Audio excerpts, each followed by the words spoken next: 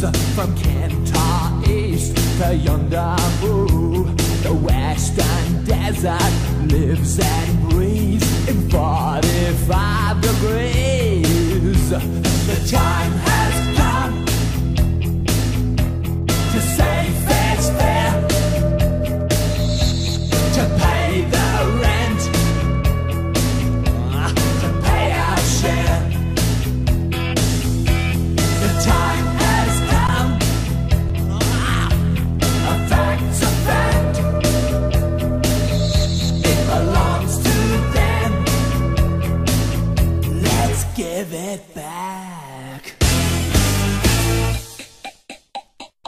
Let's give it back.